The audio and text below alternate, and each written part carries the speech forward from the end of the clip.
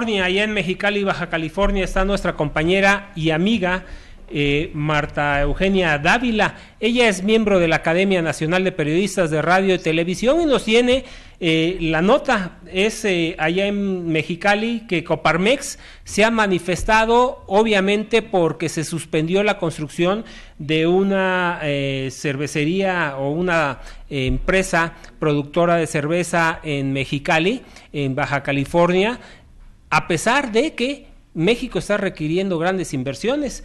Marta Eugenia Dávila, muy buenas tardes. ¿Cómo has estado?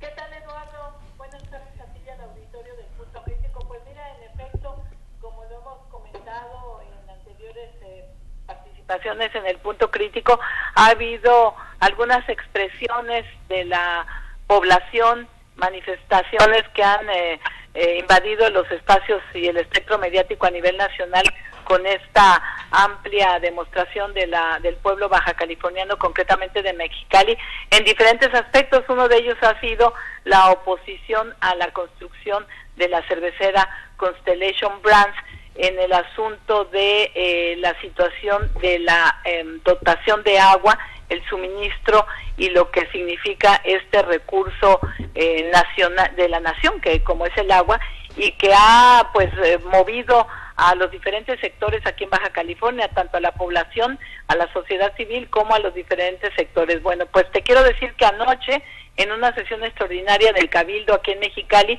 se aprobó, se aprobó por unanimidad el punto de acuerdo de suspender durante 10 días la construcción de la cervecería Constellation Brands, mientras Sindicatura Municipal investigará posibles irregularidades denunciadas por la población y por algunos grupos de la sociedad civil en la entrega de permisos y licencias de construcción. Esto sucede, eh, Eduardo, anoche, después de que el Congreso del Estado, del Estado de Baja California, eh, publica un exhorto, se le entrega al presidente municipal Gustavo Sánchez Vázquez y entonces el Cabildo toma esta decisión. Esto fue anoche, hoy por la mañana se encuentra aquí eh, desde muy temprano el presidente nacional de Coparmex, quien acudió a la toma de compromiso de la nueva directiva de Coparmex Mexicali, encabezada por Rodrigo Llantada, y Gustavo de Hoyos Walter, presidente nacional de Coparmex, pues le da el espaldarazo a la construcción de esta cervecera Constellation Brands, eh, Eduardo, y afirma que si no se concreta este proyecto, sería un daño reputacional lamentable en sus consecuencias para Mexicali, ya que la ciudad quedaría en peligro de ser descalificada como destino de inversión por muchos años, tres décadas por lo menos, dice Gustavo de Hoyos Walter.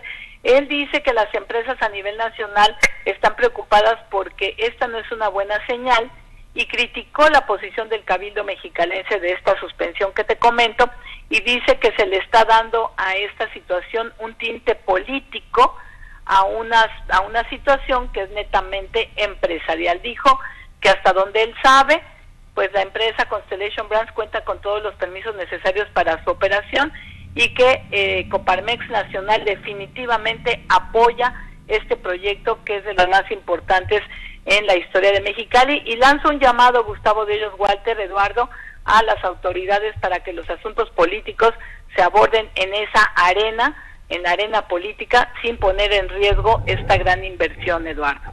Sí, muchas veces eh, los intereses políticos superan a los económicos y llevan al traste las grandes inversiones.